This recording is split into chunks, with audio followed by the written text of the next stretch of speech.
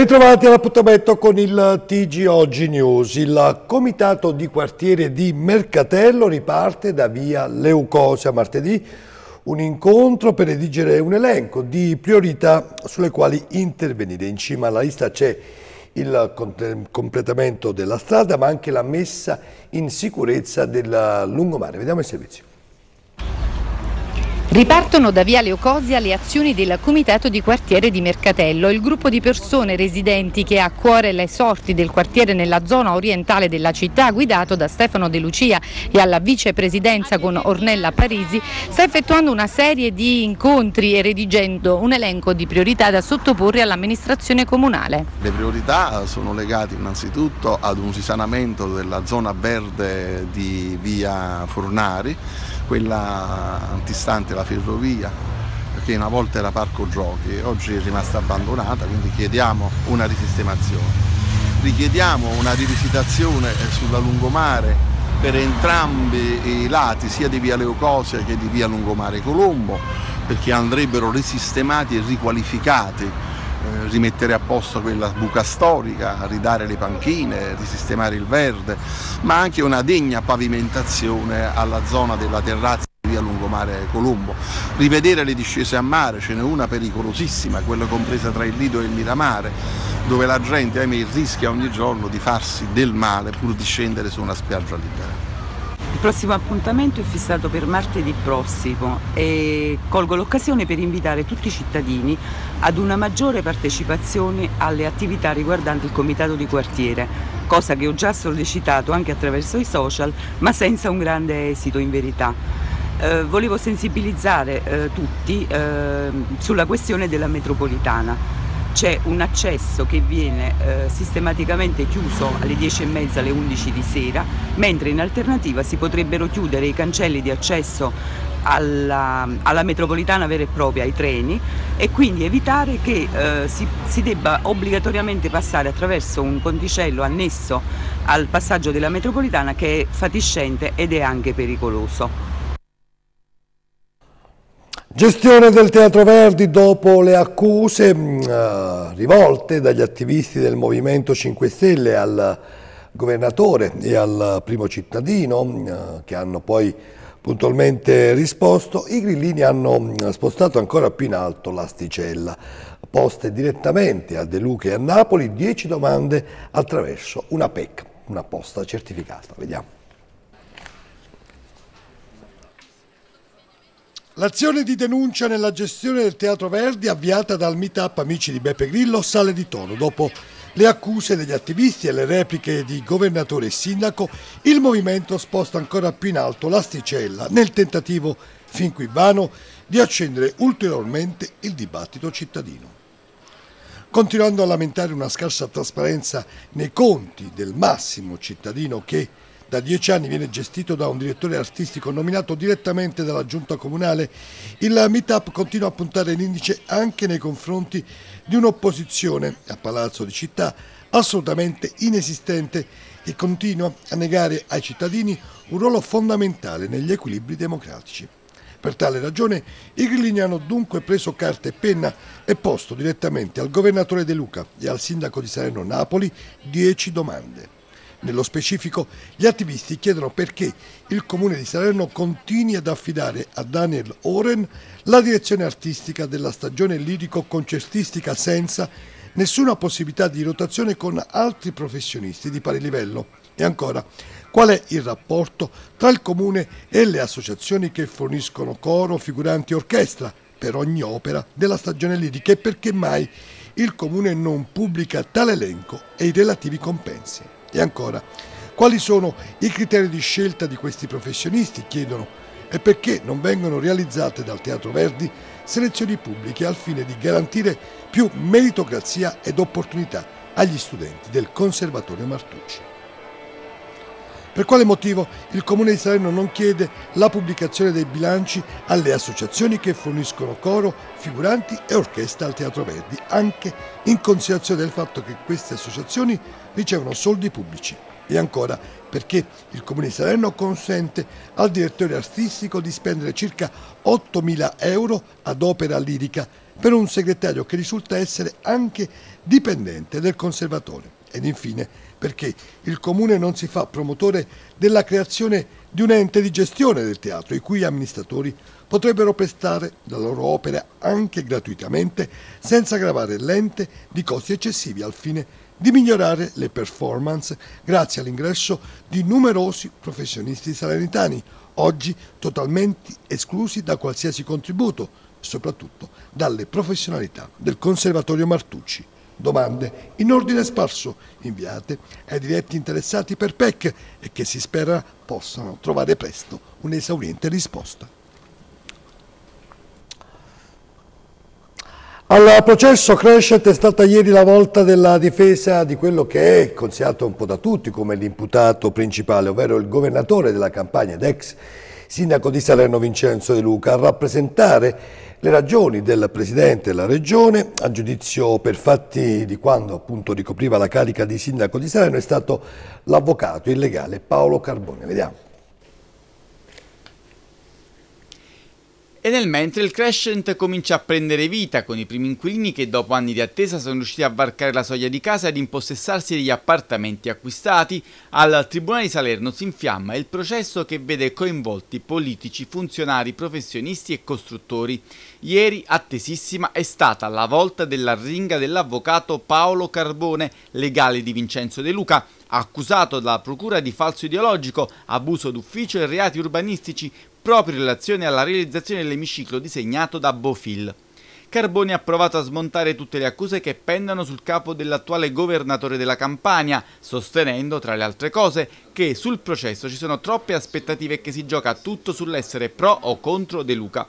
Nel corso della ringa l'avvocato Carboni ha portato avanti anche un ragionamento sull'attestazione del falso in atto pubblico. A sostegno della sua difesa ha fatto riferimento ad illustri giuristi. Quella di De Luca, secondo la difesa, è stata una scelta coraggiosa nel segno della trasformazione urbana della città, che ha risanato una zona di degrado e rivitalizzato un'area morta. Questa considerazione ha suscitato una veemente reazione da parte del consigliere d'opposizione Roberto Celano che in una nota scritta parla di un goffo tentativo di rendere martire chi ha fortemente voluto lo scempio edilizio sul mare nel comparto di Santa Teresa. Per i legali, in particolare per i difensori di Luca, si tratterebbe di una sorta di processo politico per la volontà presunta di qualche magistrato di dar voce a chi si contrappone al sistema di potere dimenticando, prosegue la nota di Celano, che in tribunale non si discute della valenza o della bellezza o meno dell'opera, ma della legittimità del procedimento adottato, dell'inesistenza dell'interesse pubblico, degli insuperabili vincoli esistenti, degli strani intrecci tra amministrazione comunale e soprintendenza. Vincenzo Russo è stato rieletto alla guida dell'Ance AIS Salerno e i Costrattori, hanno dunque scelto la strada della continuità, confermando alla guida dell'associazione datoriale il 51enne costruttore salernitano che taglia il prestigioso traguardo del secondo mandato consecutivo. Russo ha battuto Roberto Scermino al termine di una competizione elettorale che ha visto in campo le 162 imprese iscritte all'associazione per un totale di 2.642 voti. Inoppugnabile e schiacciante il dato emerso dalle urne Vincenzo Russo e la lista da lui capeggiata hanno raccolto 1.633 voti, 1.009 voti per la lista guidata da Roberto Scermino. Bagno di folla ieri a Ponte Cagnano per il neo sindaco Lanzara, il giovane primo cittadino ha abbracciato la sua comunità promettendo impegno e trasparenza. Presto sarà anche ufficializzata la scuola di governo che lo affiancherà nel mandato. Sì, una nuova fase, una fase storica, una fase che vedrà i cittadini al centro di tutto, una fase dove vede una generazione nuova che ha una grande responsabilità, però con entusiasmo e grandi competenze sarà in grado di voltare pagina e di scrivere la storia di questa comunità.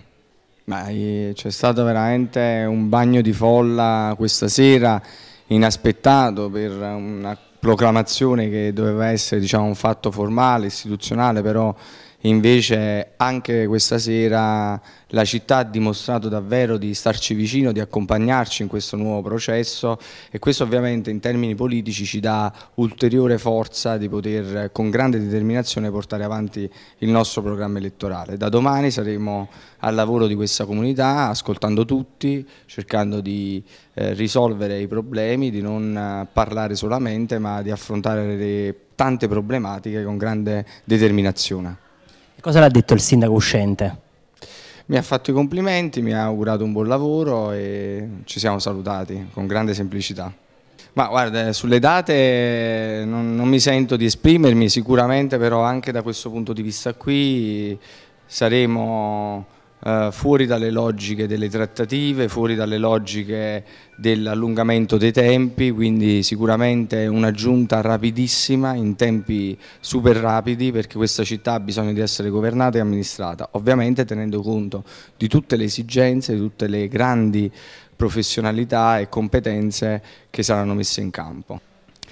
Ma io in questa fase, in questo momento, io sono abituato ad affrontare le questioni, diciamo, di petto, nel senso che eh, oggi io mi sono insediato, dalla prossima ora inizierò a studiare e a ragionare con, le, la, con la coalizione su quello che sarà eh, la, la, soluzione più opportuna e la risposta più opportuna da dare a questa città. Sicuramente in tempi rapidi, in tempi molto molto veloci e sicuramente la Giunta sarà espressione de, di una grande qualità e di una voglia di lavorare davvero giorno e notte perché questa città ha bisogno di essere amministrata e, e quindi ci vorrà un impegno notevole.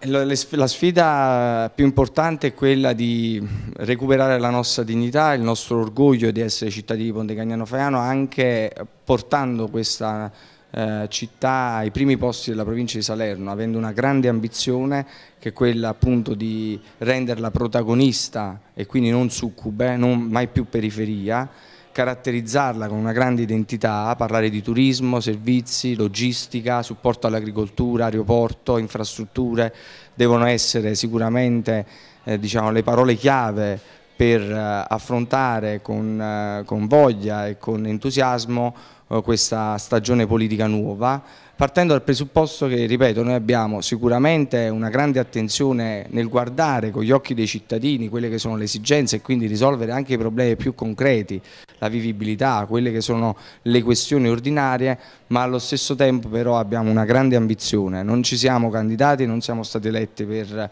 tappare soltanto i buchi alle strade o mettere qualche lampadina in più, la nostra è una determinazione fortissima che porterà questa città ad essere la migliore di tutta la provincia di Salerno. La cronaca raid vandalico al cimitero di Pagani questa notte, ignoti dopo essere entrati nella struttura comunale hanno profanato circa 200 tombe, portati via vasi e arredi funebri in rame. Sul caso indagano i carabinieri.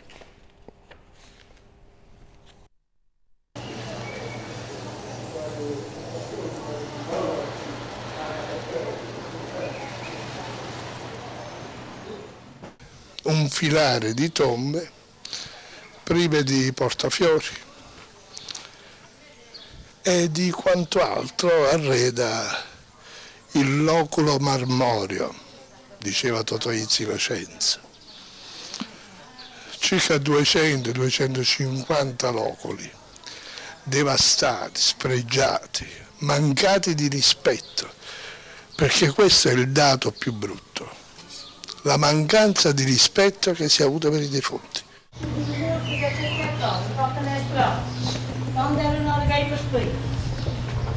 Senti che sono. Senti vela, vela. Faceva digrignare addirittura i denti, gente che era arrabbiata davanti alla tomba del proprio caro e vederla sfregiata non vi dico che cosa hanno detto. Noi siamo cristiani, vogliamo anche capire quelli che sono venuti a rubare per guadagnare uno spicciolo 100, 200, 300 euro. Ma che sono?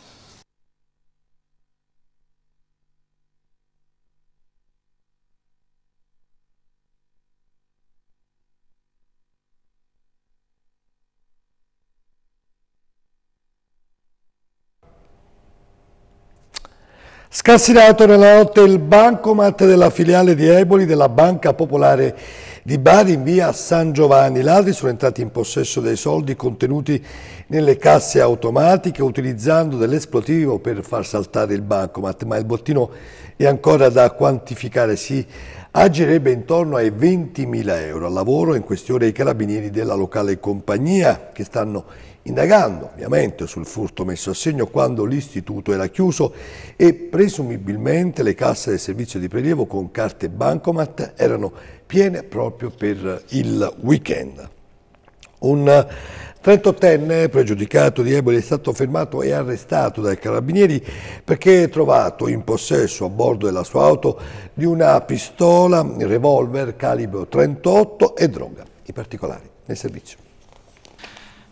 Trovato in possesso a bordo della sua auto nel corso di un normale controllo lungo le strade di Eboli di una pistola, revolver calibro 38 e di droga, più precisamente del crack, arrestato dai carabinieri della locale compagnia agli ordini del capitano Luca Geminale, un 38enne pregiudicato ebolitano. L'operazione è scattata quando l'uomo è stato fermato dai militari dell'arma. Ai carabinieri non è passato inosservato il tentativo del 38enne di occultare sotto il sedile dell'autovettura la pistola. Da qui il controllo e la successiva perquisizione veicolare che ha permesso di rinvenire anche le munizioni e un modico quantitativo di sostanza stupefacente. Al termine delle formalità di rito, l'uomo è stato tradotto al carcere di Forni a Salerno e in attesa dell'udienza di convalida dinanzi alla GIP del Tribunale di Salerno. Salerno. L'immobile di Ponte Barizzo, nel comune di Capaccio Pestum, confiscato alla criminalità organizzata che attualmente ospita la sala teatrale Argiva, sarà riqualificato dall'amministrazione mediante un intervento di restyling, i particolari del servizio. L'immobile di Ponte Barizzo, confiscato alla criminalità organizzata e che attualmente ospita la sala teatrale Erargiva, sarà riqualificato dall'amministrazione comunale mediante un intervento di restyling. I lavori per un importo complessivo di 340.000 euro sono stati finanziati a valere sulle risorse del Port Campania FESDR 2014-2020.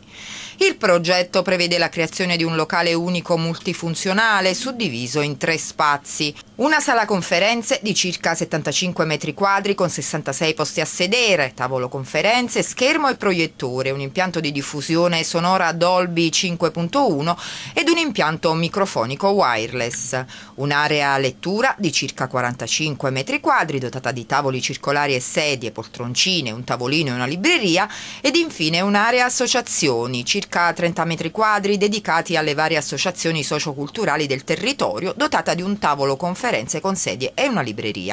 Tra gli interventi di restyling è prevista anche la realizzazione di due rampe d'accesso all'immobile per i diversamente abili.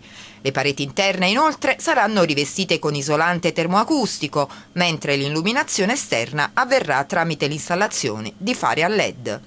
È la vittoria dello Stato della legalità, evidenzia il sindaco Franco Palumbo. Questa amministrazione si impegna quotidianamente in stretta sinergia con le forze dell'ordine e con l'autorità giudiziaria affinché il territorio di Capaccio Pessum resti incontaminato dalla criminalità. Ed ora diamo uno sguardo alla nostra pagina degli appuntamenti.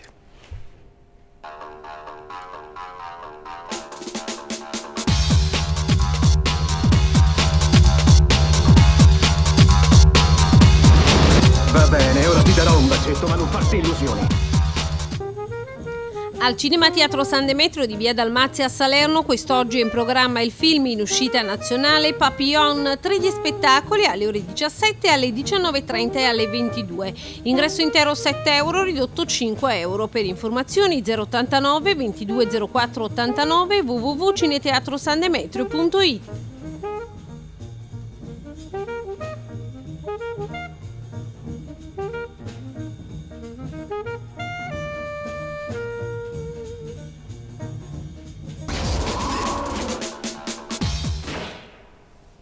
Andiamo, ti divertirai, te lo prometto. È tempo di notizie meteo, la pubblicità e poi lo sport. in collaborazione con Arechi Security Service, la tua sicurezza, il nostro impegno. Formazione, discrezionalità, professionalità. La nostra mission, efficienza e qualità. Professionisti nella sicurezza. Arechi Security Service, la nostra qualità per la tua sicurezza. Arechi Army Store, armeria dedicata. Militaria, armeria, soft air, al tuo servizio per ogni esigenza. A Salerno in via Venner 75.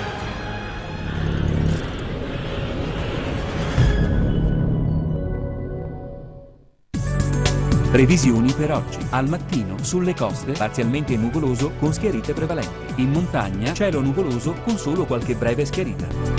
Nel pomeriggio sulle coste bel tempo con cieli quasi sereni. In montagna nubi e schiarite con possibili piovaschi. Previsioni per domani. Al mattino sulle coste bel tempo con cieli sereni. In montagna bel tempo con cieli sereni. Nel pomeriggio sulle coste bel tempo con cieli sereni. In montagna bel tempo con cieli quasi sereni. Previsioni del tempo fornite da 3B Meteo. Sono stati assegnati ieri dalla Lega B i diritti per la trasmissione a pagamento delle gare del campionato cadetto per il prossimo triennio campionato che dovrebbe trovare una nuova collocazione, un'antica collocazione è il caso di dire, ritornando così alla domenica, la spuntata Perform che trasmetterà le partite in streaming.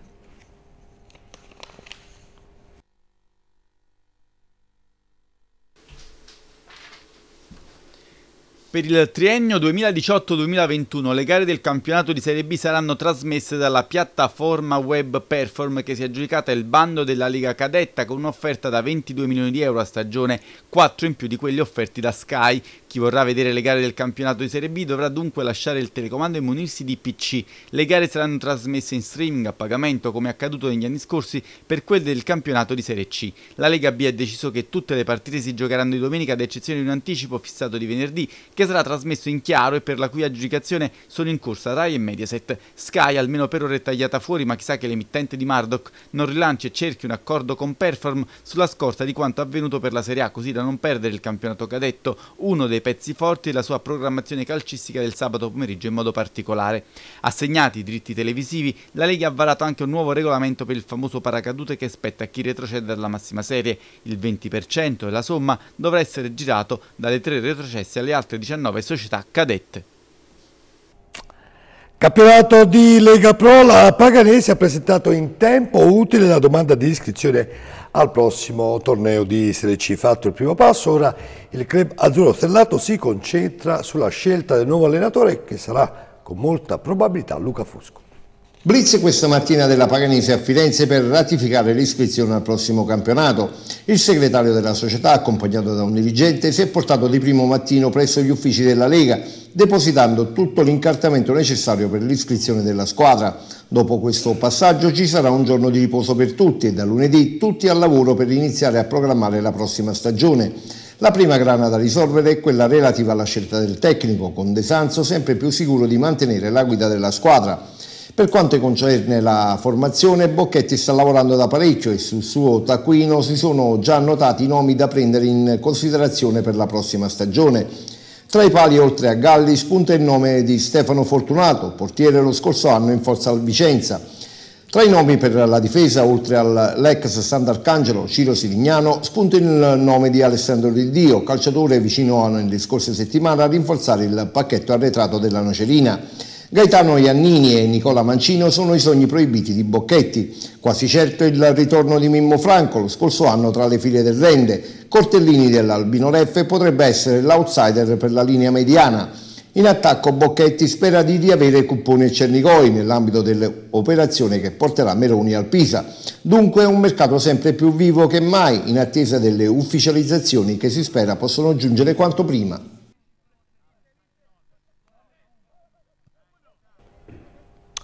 Tutto per questa edizione, grazie per averci preferito, appuntamento alle prossime. Arrivederci.